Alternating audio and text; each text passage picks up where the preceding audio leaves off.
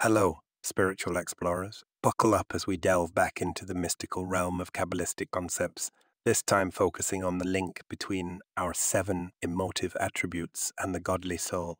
Yesterday, we took a fascinating journey through the landscape of Chesed, Gevurah, and Tiferet, understanding their function in our everyday life. But today, we're going to push that door open a little wider and peek inside to see how these attributes operate through the godly soul. Imagine the godly soul as an artist's canvas. It's waiting, eager, ready to be smashed with colours and shaped by our emotive attributes. Our Chesed, our love and kindness, leaves bold strokes of warmth and generosity. Gevurah, our discipline and restraint, adds structure and balance. Tiferet, our beauty and harmony, ties it all together, creating a masterpiece of personal growth and divine connection.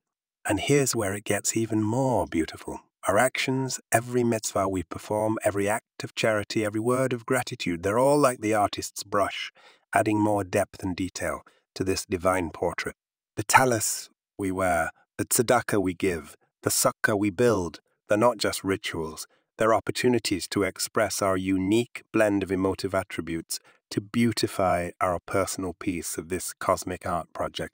And let's not forget the essential role of gratitude. Never withhold your thanks to Hashem. Consider gratitude as the final touch, the varnish that seals and protects our masterpiece.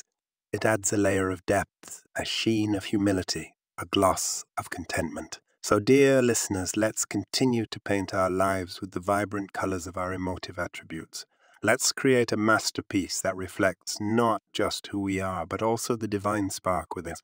Until next time, keep exploring, keep questioning, and most importantly, keep painting